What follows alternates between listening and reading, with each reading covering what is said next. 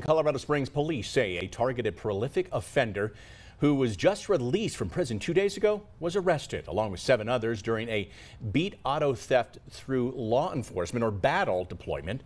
Six vehicles were also recovered and a total of eight people were arrested for multiple motor vehicle offenses as well as narcotic related offenses and active arrest warrants.